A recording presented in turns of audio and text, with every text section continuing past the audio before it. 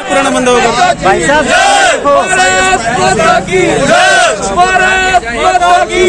क्या यार आप गुस्सा कल भी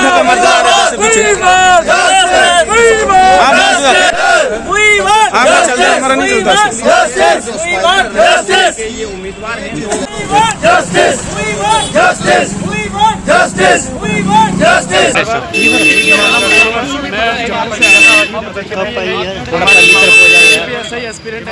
हमारी डिमांड जो शुरू से फाइव ईयर एज रिलैक्सेशन की थी, वो हमारी फुलफिल हुई है, बल्कि उसे घटाकर दो साल करके जो दिया है, वो हमारे साथ मज़ाक है। हम एल साहब से यही कहते हैं बार बार एल साहब, हमारे रूल्स तोड़े गए हैं, हमारे राइट्स हमसे छीने गए हैं। हमें हर साल में एक मौका मिनिमम मिलना था जो ए, इस लिए कंप्लीट करने का वो हमें नहीं मिला वो फेलियर एडमिनिस्ट्रेशन का है। अब उसका कंपनसेशन आप हमें पाँच साल का एज रिलैक्सेशन देकर दो क्योंकि सर ना फेलियर किसी का और भुगतान सर हम क्यों भुगते? तो आगे बेरोजगारी सर बहुत बढ़ चुकी है तो प्लीज़ आप हमें